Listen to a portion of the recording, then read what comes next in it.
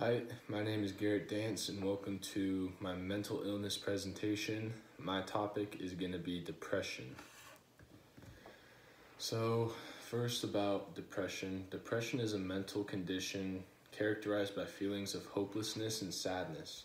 Depression also typically comes with feelings of guilt, lack of energy, appetite, sleep, and also the feeling of not being good enough. Depression can also lead to physical issues and will affect your mood.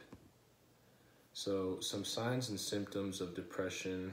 Um, first one is going to be your mental and personality signs. So, these mean like trouble concentrating and making decisions, fatigue, um, feelings of guilt and worthlessness. Um, you get irritated easy. Um, you don't really have an appetite you're over, you can be overeating, um, and you have thoughts or you've attempted suicide.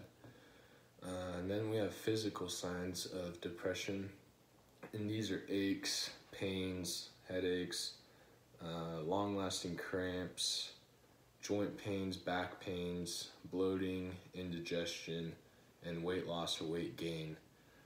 Um, symptoms and signs of depression must last two weeks before a diagnosis. So, some statistics about depression uh, women are more likely to become depressed than men are. Uh, 350 million people worldwide suffer from depression, which is 5% of the world. Suicide is the second leading cause of death from people ages um, 15 to 44. Uh, teen depression affects 10 to 15 percent of teens. 11 percent of adolescents have some form of depression by the age of 18. Um, depression is the leading cause of disability in the U.S. among people ages 14 to 44. So, what causes depression? Depression can be caused by a number of things, but they can be prevented. Uh, some causes are like your family history, uh, your personality, um, medical illnesses, uh, you're abusing drugs or you're abusing alcohol, or you're just really you're really stressed. So ways you can prevent this. There's many. Um, natural lifestyle changes you can make to help prevent uh, depression.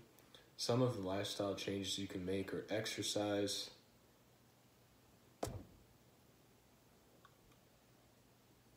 uh, social support from friends and family, a new nutrition, diet, uh, sleep, and stress reduction. You can also start getting out in nature more, like going on walks, just spending more time with yourself and your surroundings to get your know your, to get to know yourself more. So treatments of depression. Depression is a treatable illness, but since there isn't an exact known point of being free of it, it's hard to know when you're cured of depression. So, uh, some of the treatments for depression are therapists, um, medications, of course, vitamins, supplements, um, and then you can go to treatment treatment facilities or rehab um, centers. But let's talk about the cost of these treatments and care. So some medicines used to treat depression can range from thirty dollars to two hundred dollars a month. Therapy sessions can cost up to hundred dollars per hour and treatment centers can cost you $20,000 a month just for depression rehab.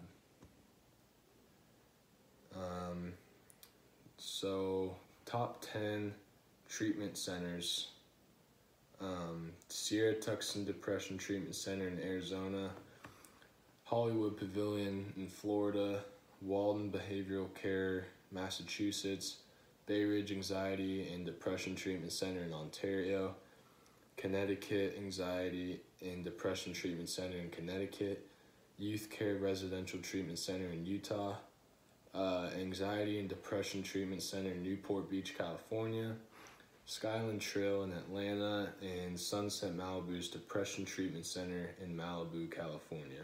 And that's just the top 10. There's many, many more. And that is it for my presentation. I hope you liked it.